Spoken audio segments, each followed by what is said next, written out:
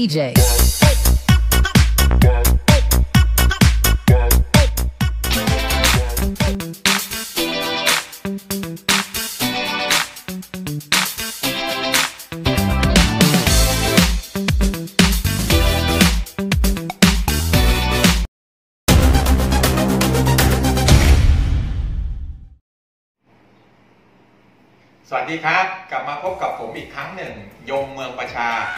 ช่องทีวีมาตรฐานสู่ความนิยมนะครับ ก่อนอื่นต้องขอขอบคุณผู้สนับสนุนรายการช่องทีวีมาตรฐานอย่างเป็นทางการนะครับนังรายชื่อต่อไปนี้ครับผม ขอบคุณมากครับผม วันนี้ผมมีเกมการแข่งขันหมากรุกนะครับ เป็นประเภทกีฬาพื้นบ้าน ซึ่งเป็นการพบกันระหว่างเอ็มนครปฐมพบกับชเวงศักดิ์ซึ่งเกมนี้จะสนุกสนานยังไงพวกเรามารับชมเกมกันเลยนะครับ สำหรับหมากฝ่ายขาวต้องบอกว่าเป็นของลุงชเวงศักดิ์นะครับ ส่วนหมากฝ่ายแดงทางด้านผู้ชม ก็จะเป็นของเอ็มนครปฐมเปิดเกมมานะครับ ลุงชเวงศักดิ์เป็นฝ่ายเดินก่อนเลยนะครับ ขึ้นโคนมาตั้งรับนัดตำแหน่งคอควายสองเอ็มนครปฐมก็ก็ตั้งรับด้วยโคนขึ้นมาเช่นกันนะครับ เรามาดูคู่นี้กันนะครับ เป็นประเภทพื้นบ้าน ถือว่าจะมีแต้มเด็ด แต้มเซียนกันอย่างไรมากนะครับ จังหวะนี้เองนะครับ ลุงเฉวงศักดิ์ก็ขึ้นม้ามาหน้าตำแหน่งงองูสองเอ็มเองก็สไลด์เม็ดขึ้นมาตำแหน่งหน้าโคนนะครับ เม็ดของลุงเฉวงศักดิ์ก็สไลด์ขึ้นมาตำแหน่งหน้าโคนเช่นกัน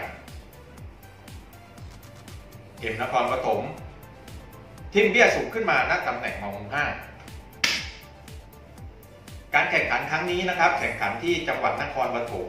เมื่อช่วงวันที่ 27 ธันวาคม 2019 นะครับก่อนที่จะส่งท้ายปีเก่าต้อนรับปีใหม่นะครับ ถือว่าผู้คนไปชมกันหลักพันเลยนะครับ ผู้คนแน่นขนาดตาทีเดียว แสดงว่าคู่นี้จะต้องมีแต้มเด็ดแต้มเซียนกันนะครับ ใครชอบใครเชียร์ใครนะครับ ก็ติดตามชมกันหลังจากนี้ไปนะครับ เม็ดอาจารย์ลุงชเวงศักดิ์ก็ขึ้นสู่กลางกระดานนะครับ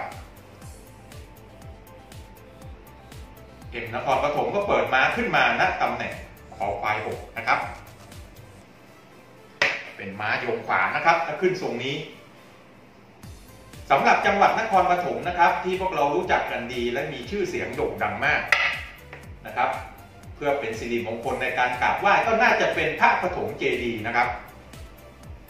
นอกจากนี้ตอนกลางคืนก็ยังมีตลาดโต้รุ่งอีกนะครับ ไม่ว่าจะเป็นชื่อเสียงทางด้านตลาดน้ำก็จะมีตลาดน้ำวัดลำพญานะครับ ตลาดน้ำดอนหวายหรือแม้แต่ตลาดน้ำทุ่งบัวแดงก็แล้วแต่นะครับ ถือว่ามีชื่อเสียงมากของจังหวัดนครปฐมนอกจากนี้แล้วนะครับ ก็ยังมี ระราชวังสนามจันทร์ด้วยนะครับ คือมีชื่อเสียงโด่งดังอีกที่หนึ่ง พวกเราที่ชอบพิพิธภัณฑ์หุ่นขี้ผึ้งแม้แต่หอภาพยนตร์ เมืองลัตติยา สไตล์ย้อนยุคกว่า 25 ไร่ ก็ยังเป็นสถานที่ท่องเที่ยวนะครับ ก็ขอฝากไว้ด้วยสำหรับจังหวัดนครปฐมใครที่เคยไปแล้วห่างเหินมานานและคนที่ยังไม่เคยไปนะครับ สามารถเที่ยวในวันเดียวจบได้นะครับ ฝากไว้ด้วยสำหรับพวกเราชาวไทยทุกทิศทั่วไทย กับจังหวัดนครปฐมนะครับ จังหวะนี้ทิมเบี้ยสูงไปนักตำแหน่งขอไข่สี่นะครับ ถึงจังหวะนี้เอ็มนครปฐมก็ขึ้นโคนมาณตำแหน่งคอควายเจ็ดนะครับ เป็นโคนผูกเม็ดลุงชเวงศักดิ์เองนะครับ ก็เอาเรือออกคลองมาหน้าตำแหน่งขอไข่เม็ดลุงแกก็ถือว่ามวยเก๋ามวยแก่เลยนะครับ ถ้าเป็นนั่นก็ถือว่าหนังเหนียวมากนะครับ ตุ๋นกันนานๆแล้วเป็นไก่แก่นะครับถือว่าฝีไม้ลายมือนะครับ เรื่องประสบการณ์หายห่วงนะครับ จังหวะนี้เอ็มนครปฐมก็ขึ้นขึ้นมาณตำแหน่งชอช้างหกเปิดโขนออกมาทางด้านปีกซ้ายแล้วนะครับ จังหวะนี้เอง ลุงชเวงศักดิ์ก็ขึ้นโคน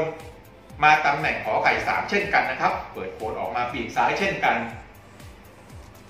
เมื่อถึงจังหวะนี้นะครับ เอ็มนครปฐมต้องการให้เรือผูกถึงกันนะครับ ก็เลยนำขุนเข้าป้อมณตำแหน่งชอชิงเจ็ดครับผม Sorry ass DJ.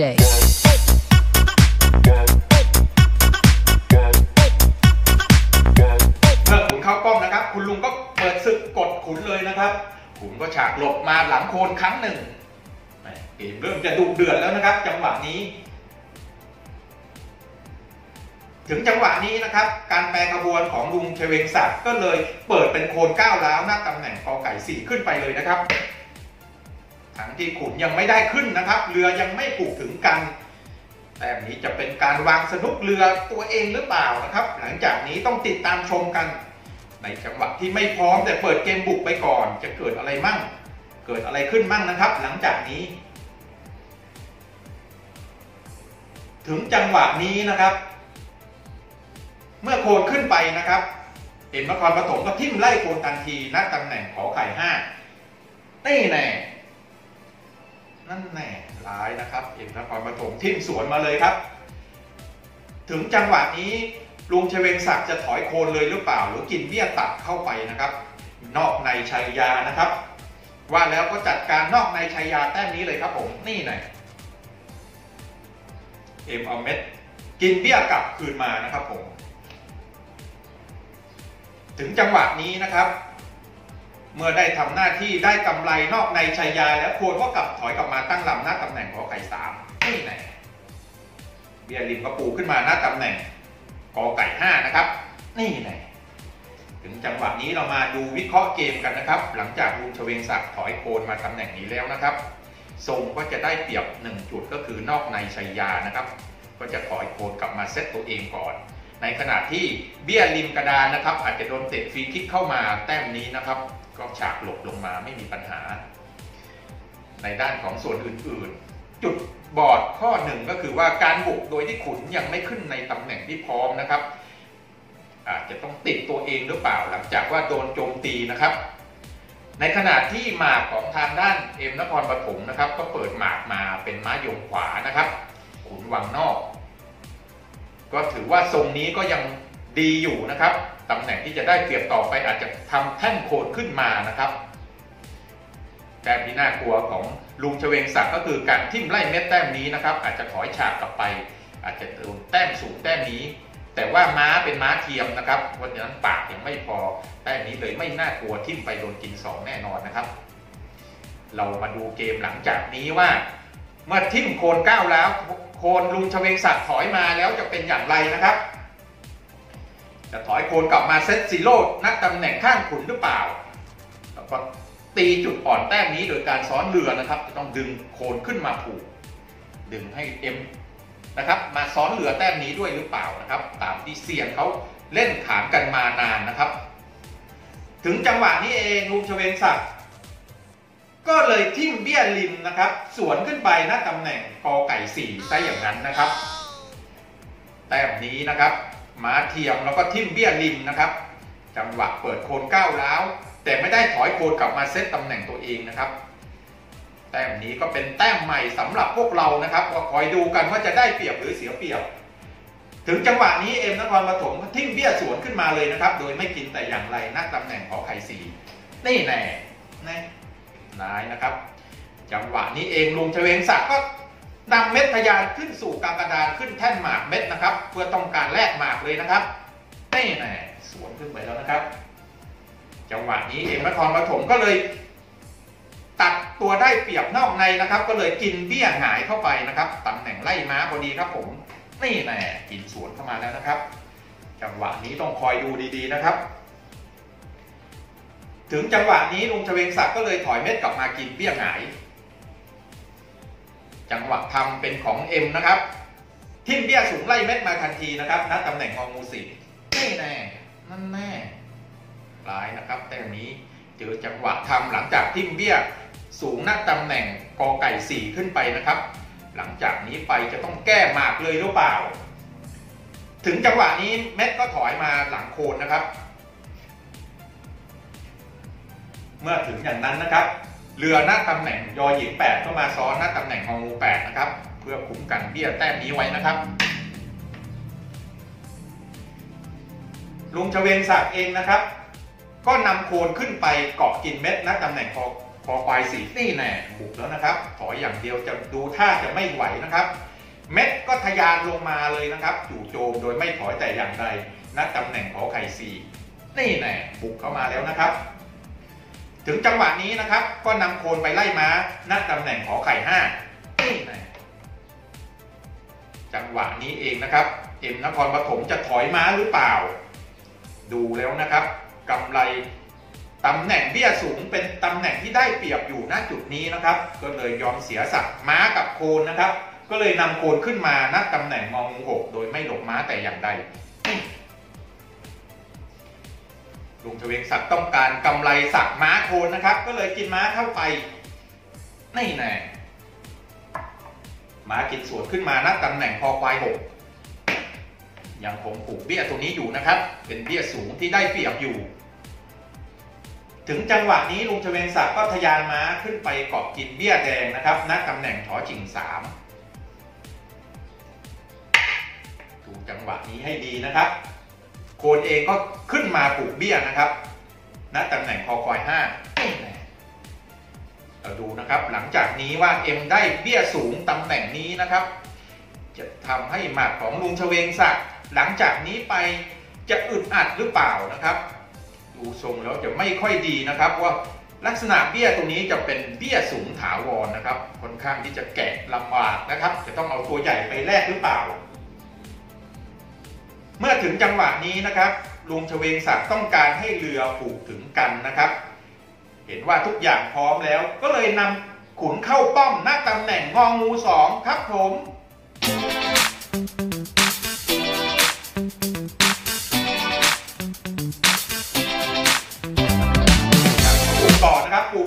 มขึ้นมาหน้าตำแหน่งยอหญิงห้าถึงจังหวะนี้นะครับ ลุงก็กินสวนเข้าไปเลยนะครับเบี้ยนัดชอชิงสี่นะครับ ไปชอช้างห้านะครับ นี่ไงบุกแรกกันแล้วนะครับเอ็มนครปฐมไม่ได้ใช้โคนกินแต่อย่างใดนะครับ เนื่องจากว่าต้องการยันไว้เลยนะครับ ก็เลยนำเบี้ยกินสวนขึ้นมาณตำแหน่งชอช้างห้านะครับนี่ไง มาของลุงเฉวงศักดิ์รู้สึกจะเริ่มจะขยายตัวใหญ่ค่อนข้างลำบากนะครับ ถึงจังหวะนี้ เรือหน้าตำแหน่งชอชิงหนึ่งนะครับ ก็มากดโคนไว้นะครับ จังหวะนี้นะครับ มือทำก็ยังทำต่อเนื่องนะครับ จังหวะหนึ่งสองทิมเบี้ยสูงไล่ม้ามาหน้าตำแหน่งชอชอช้างสี่นะครับเบี้ยริมก็เลยกินสวนเข้าไปหน้าตำแหน่งชอช้างสี่ จังหวะนี้เรามาดูกันนะครับว่าจะเกิดอะไรขึ้น หลังจากที่ตกเป็นรองณจุดนี้นะครับ จังหวะนี้ม้าของลุงเฉวงศักดิ์ก็ถอยมาเซตตัวเองณตำแหน่งชอช้างหนึ่งกลายเป็นม้าตั้งรับไปแล้วนะครับเบี้ยหน้าตำแหน่งจอจานหกก็ขึ้นมานะครับ ทิ่มสูงผูกเบี้ยสูงตัวนี้ไว้อย่างถาวรหลังจากนี้ไปนะครับ ได้เบี้ยสูงตำแหน่งนี้ถึงกับเดินง่ายมาเดินหมากง่ายขึ้นเยอะนะครับ ของเอ็มนครปฐมจังหวะนี้เองลุงเฉวงศักดิ์ก็อยู่ในช่วงอึดอัดนะครับ ก็เลยนำเม็ดไปต่อทิ้งหน้าตำแหน่งกอไก่สามจังหวะต่อเม็ดทางนี้ทิ้งนะครับ เรือหน้าตำแหน่งกอไก่แปดนะครับ ก็มากดไว้อีกนะครับ ไม่ได้กลัวเกงแต่อย่างใดนะครับ มาผูกม้าผูกโคนไว้ก่อนนะครับ จังหวะนี้ ขุนของลุงจเฉวงศักดิ์ก็ลงมานะครับ เพื่อต้องการสลับตัวหมากกัน ก็ย่อลงมานักตำแหน่งจอจานหนึ่งนะครับปลอดภัยไว้ก่อนนะครับ อยู่ตามกฎจังหวะนี้เองโคนของ M นะครับ ก็ขึ้นมาผูกณตำแหน่งชอช้างห้าสวยงามนะครับแต้มนี้ ตอนนี้พื้นที่ยึดไว้หมดแล้วนะครับ ค่อยๆกระชับพื้นที่เข้ามา จังหวะนี้เองนะครับลุงเฉวงศักดิ์ก็เตรียมซ้อนเรือณตำแหน่งคอควายสองขึ้นมานะครับ เมื่อเห็นจังหวะจะซ้อนเรือนะครับ ม้าก็เปิดคลองเรือฉากฉากหลบไปหน้าตำแหน่งจอจานเจ็ดจังหวะนี้ลุงเฉวงศักดิ์ซ้อนเรือทันทีนะครับ จังหวะนี้เองเห็นเรือซ้อนนะครับ เอ็มนครปฐมก็เลยเอาเม็ดเข้ามาขวางทางเรือไว้ก่อนนะตำแหน่งคอควายสามนี่แน่สวยงามนะครับ แต้มนี้ เรือเองก็ออกคลองหน้าตำแหน่งขอไข่หนึ่งต้องการออกคลองนี้นะครับ จังหวะคลองนี้เสียไม่ได้นะครับ เอ็มก็เลยเอ็มนครปฐมก็เลยต่อเรือทิ้งหน้าตำแหน่งขอไข่แปดแต้มนี้นะครับ เราต้องดูหลังจากนี้ไปนะครับว่าจะเป็นอย่างไรกันบ้าง ถึงจังหวะนี้นะครับ เรือของลุงเฉวงศักดิ์นะครับ ก็ย่อลงมาอีกตัวหนึ่งนะครับ เพื่อผูกเรือถึงกันหน้าตำแหน่งคอควายหนึ่งถึงจังหวะนี้เรามาดูนะครับ ก็กลับมาซ้อนเรืออีกครั้งหนึ่งนะครับ หลบของเรือก่อนนะครับ ถึงจังหวะนี้ มือทำเป็นของเอ็มนครปฐมนะครับ ก็ทะยานโคนขึ้นมาจู่โจมเม็ดทันทีนะครับ เพื่อต้องการกระชับพื้นที่ให้มากขึ้นนะครับแน่บุกแล้วนะครับ ลุยเข้ามานัดตำแหน่งขอไข่สี่จังหวะสับได้เปรียบนะครับ ไม่สามารถถอยได้แล้วนะครับ ก็เลยเม็ดกินโคนเข้าไป เอ็มนครปฐมใช้เบี้ยริมกินเข้ามานัดตำแหน่งขอไข่สี่นะครับ พื้นที่ถูกกระชับไปเรื่อยๆนะครับ เราดูหมากถึงตอนนี้นะครับ ของลุงเฉวงศักดิ์เองกลับมาเป็นตั้งรับทั้งหมดเลยนะครับ ไม่ว่าจะเป็นม้าสองตัวนะครับ เรือ ในขณะที่เบี้ยสูงก็ยังค้ำอยู่นะครับ มาอีกหนึ่งตัวเตรียมที่จะเข้าฮอตหงายแม่ลุงเฉวงศักดิ์หลังจากที่เบี้ยริมกอไก่สามไปกอไก่สี่นะครับมาตกมาเป็นรองตลอดลักษณะอย่างนี้ก็ เลือดท่วมตัวเหงื่อท่วมกายแล้วนะครับ จะต้องหาเสมอด่วนไหมถ้าเป็นบอลเองก็จะถูกบุกอยู่ฝั่งเดียวนะครับ หน้ากรอบประตูเขตโทษซะอย่างนั้นถึงจังหวะนี้นะครับเรือนัดตำแหน่งคอควายหนึ่งนะครับ ก็ย่อลงมาทีหนึ่งนัดตำแหน่งงองูหนึ่งนะครับกันเม็ดลงมานะครับ ย่อเรือมาหนึ่งคลองนะครับ เบี้ยก็หงายทันทีนะตำแหน่งขอไข่สามไล่เรือนะครับเรือย่อลงมานักคลองหนึ่งนะครับ ถอยกันใหญ่แล้วนะครับ จังหวะนี้ เม็ดเองนะครับ ก็มาไล่เรือหน้าตำแหน่งขอไข่สองโอ้จังหวะนี้ของลุงเฉวงศักดิ์ตกเป็นรองแล้วนะครับ ถึงกับหลบเรือนะครับ โดนไล่โดนบีบพื้นที่เลยนะครับ ถือว่าหนักหนาสากันทีเดียว เมื่อได้จังหวะเรือออกคลองนะครับ ก็นำเรือไปกดม้านะครับณตำแหน่งคอควายเจ็ดนี่ไงคุณเองจังหวะนี้ก็มาปลูกม้าไว้ณตำแหน่งชอชิงเจ็ดได้เสียหายแต่อย่างใดนะครับจังหวะนี้เองขุนของลุงเฉวงศักดิ์นะครับ ก็ต้องการเข้าป้องในที่ที่ปลอดภัยณตำแหน่งนี้นะครับ ก็เลยขยับมาหนึ่งตาเดินณตำแหน่ง ชอชิงหนึ่งนะครับ เตรียมที่จะขึ้นในตำแหน่งที่ปลอดภัยที่สุด จังหวะนี้เองนะครับ เอ็มเห็นว่าได้เปรียบเชิงอยู่นะครับก็ท้าตีท้าก่อยต่อเรือทิ้งไปนะครับณตำแหน่งคอควายแปดนี่ไงแม่ลุงเฉลิมศักดิ์เองช่วงนี้จะต้องหาแต้มที่สามารถจะหาเสมอให้โดยด่วนนะครับ โดนพื้นที่แล้วโดนยึด สุดท้ายแล้วตัวใหญ่จะต้องมาแลกกับลักษณะเป็นเบี้ยหรือเปล่าว่าไม่สามารถมีตาม้าที่จะขึ้นได้เลยนะครับ ถึงจังหวะนี้แม่โดนพักสนามบุกแล้วนะครับ ถ้าเป็นบอลลักษณะของเอ็มเองก็น่าจะเป็นลิเวอร์พูลนะครับ Okay.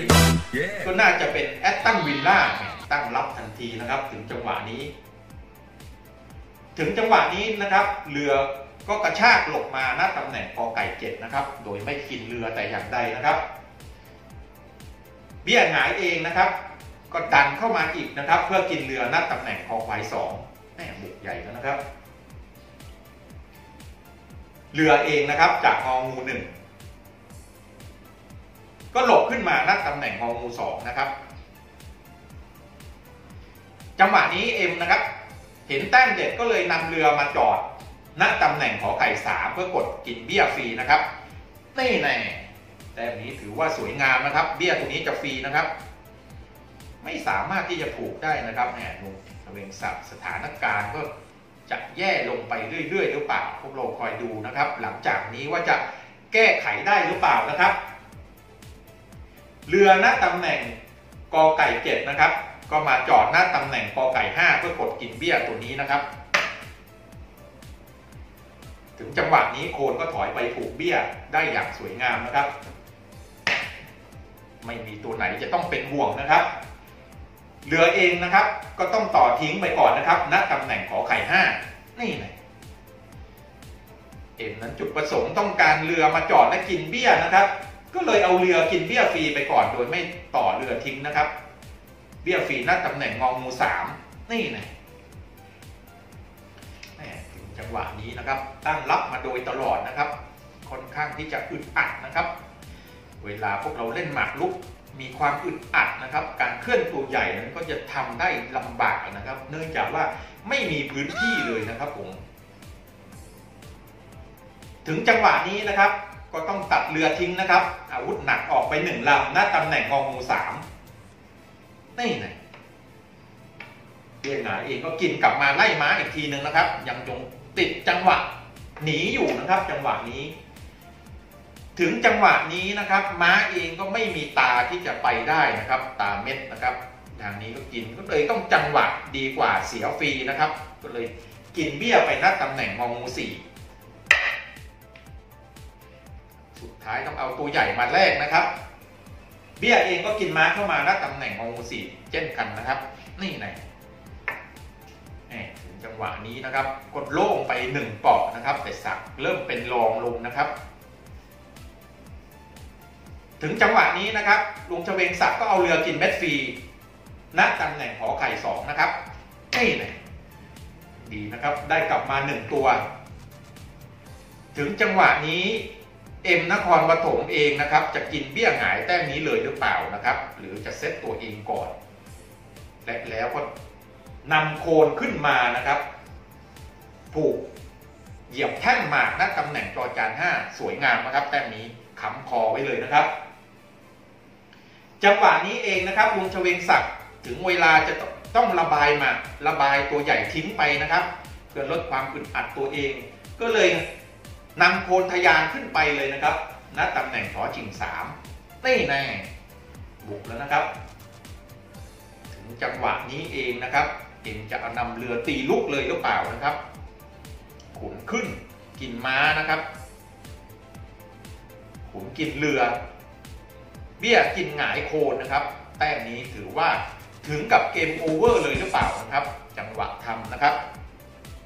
เอ็มก็ใช้เวลาคิดอยู่พักใหญ่นะครับว่าจะกินแต้มไหนดีนะครับ หรือว่าจะเอาเบี้ยกินโคนหงายเลยนะครับ ม้ากินมา ว่าแล้วถึงเวลานี้นะครับ ไม่ได้เอาเรือลุกแต่อย่างใด ก็เลยนำเบี้ยกินโคนเป็นเบี้ยหงายหน้าตำแหน่งถอจิงสามครับ นี่แน่หง ขึ้นมาแล้วนะครับ จังหวะนี้ถือว่าโล่งไปเลยนะครับ ม้าของลุงจเวงศักดิ์ก็กินเบี้ยน้าตำแหน่งถอจิงสามนะครับก็ยังชั่วนะครับจะตีลูกแต้มนี้อาจจะถึงกับกระอักเลือดเลยหรือเปล่านะครับกินเบี้ยหงายเข้าไปนะครับณจังหวะนี้เกาะกินโคนนะครับ จังหวะนี้เองถ้าถอยโคนก็จะกินเบี้ยตัวนี้นะครับ จังหวะนี้เองนะครับ เมื่อม้าขึ้นมากินนะครับ ม้าของเอ็มนะครับ ก็เลยมาผูกหน้าตำแหน่งคอควายหกนะครับ ผูกโคนไว้ก่อนนะครับ นี่ไง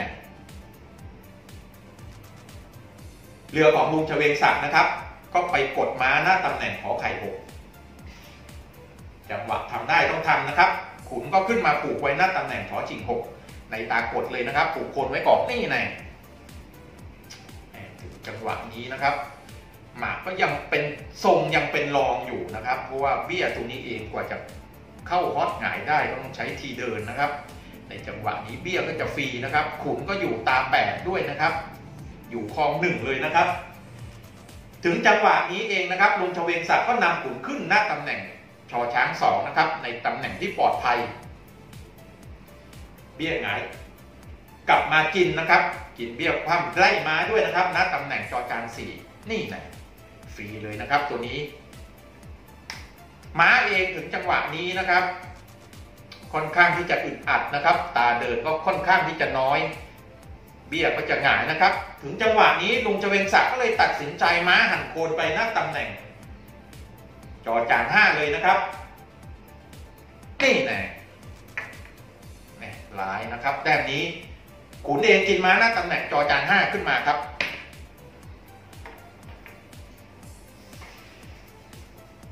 แผ่นนี้สู้กันเป็นแผ่นแรกนะครับ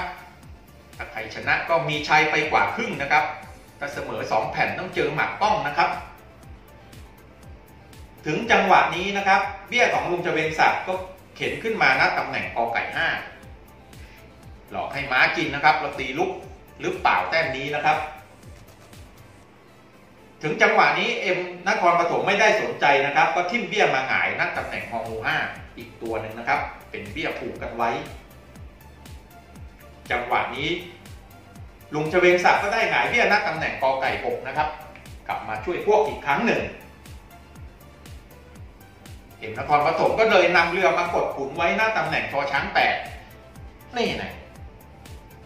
เตรียมที่จะส่งเบี้ยขึ้นมานะครับ เดี๋ยว จังหวะนี้เองนะครับ เบี้ยหงายของลุงเองก็ กลับมาช่วยพวกหน้าตำแหน่งขอไข่เจ็ดนะครับไล่ม้าไปด้วยนะครับ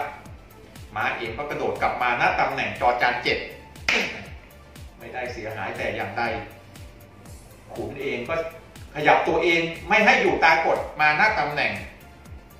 จอจิงสามหน้าตำแหน่งนี้นะครับ ขยับตัวเองเข้ามานะครับว่าจะเป็นอย่างไรกันบ้างเบี้ยหงายนะครับ กลับไปณตำแหน่งงองู5นะครับหัวเบี้ยกันกลับเข้าไปแล้วนะครับ ถึงจังหวะนี้เองเรือก็ยืดมาสุดคลองณตำแหน่งขอไข่หนึ่งนะครับ จังหวะนี้ดูว่าจะเป็นอย่างไรนะครับ เบี้ยควงกันกลับเข้าไปแล้วนะครับ ตอนนี้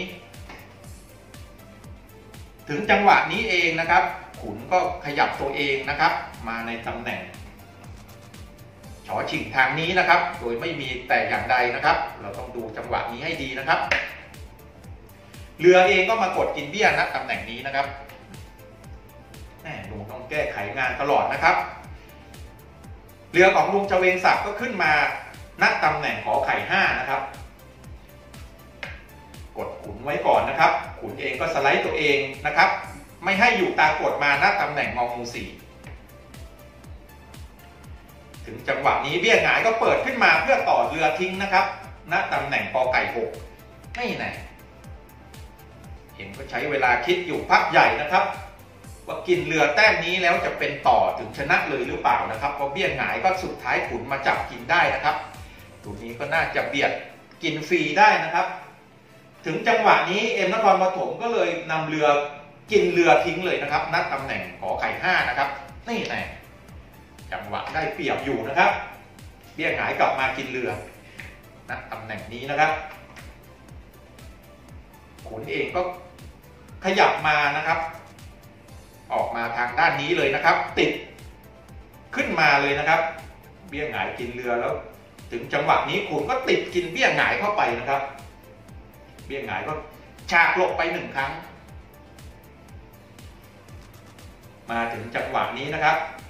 เบี้ยหงายหน้าตำแหน่งจอจาน4นะครับ ก็เลยควงกลับไปนัดตำแหน่งถอฉิง5ทางด้านนี้นะครับ สกัดเบี้ยตรงนี้ไว้ก่อนนะครับ ขุนเองก็ขึ้นมาหน้าตำแหน่งถอฉิง3เบี้ยหงายก็ลงไปนะครับ ช่วยกันไว้ก่อนนะครับณตำแหน่งจอจาน6นะครับ ขยายไปช่วยกันเบี้ยตรงนี้จะไปหงายนะครับ ถึงจังหวะนี้เบี้ยหงายนะครับ จากตำแหน่ง ก็เลยทิ่มเบี้ยสวนขึ้นไปนะตำแหน่งทอช้างสี่ทางด้านนี้เลยนะครับ ว่าจะมีเป็นอย่างไรมากนะครับ เรามาดูกันนะครับ จังหวะนี้นะครับ เป็นการเดินขุนสไลด์มาหนึ่งทีนะครับ เบี้ยหงายกลับมาณตำแหน่งชอช้างหก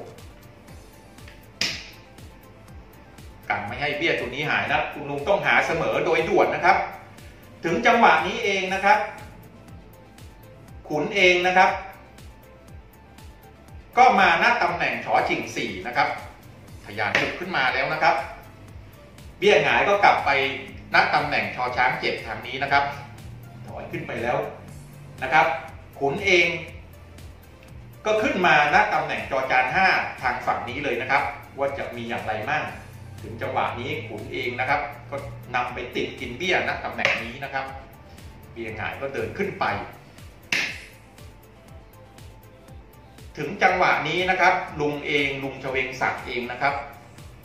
มาถึงจุดนี้ก็เห็นว่าเบี้ยหงายก็ต้องโดนกินฟรีนะครับ ซึ่งตรงนี้ก็ไม่สามารถที่จะหงายได้สุดท้ายก็จะมาตายนัดแต้มนี้นะครับ ลุงชเวงศักดิ์เองในแผ่นแรกนะครับ ก็เลยต้องขอยอมแพ้เอ็มนครปฐมไปนะครับ แล้วก็ไปสู้กันในแผ่นที่ 2 ซึ่งแผ่นที่2นะครับผลออกมาก็เสมอกัน กลายเป็นว่าเอ็มนครปฐมก็ได้แชมป์ไปนะครับในประเภทกีฬาพื้นบ้านในรอบนี้ไปนะครับ เกมก็จบลงในรอบชิงชนะเลิศซึ่งสนุกสนานมากนะครับ จุดที่พวกเราเห็นอยู่นะครับลุงชเวงศักดิ์มาแพ้นะทิมเบี้ยริมหน้าตำแหน่งกอไก่ 3 ไปกอไก่4นะครับเปิดโขนก้าวล้าวมานะครับ แต่ว่าไปเดินสูตรผิดสูตรไปนะครับ หลังจากนั้นก็ตั้งรับมาโดยตลอดสุดท้าย เป็นรองเบี้ยสูงก็ต้องเอาตัวใหญ่ไปตัดเบี้ยทิ้งนะครับ ผลออกมาปลายกระดานก็เลยแพ้นะครับ เกมนี้ก็จบลงไป ผมเองก็ฝากไว้ด้วยสำหรับพวกเราที่เป็น FC นะครับ ติดตามผมได้ในช่องทีวีมาตรฐานสู่ความนิยม แล้วก็รอบหน้าติดตามดูว่าจะนำเสียนท่านใดมาแข่งกับท่านใดนะครับ รอบนี้ลาพวกเราไปก่อนสวัสดีครับผม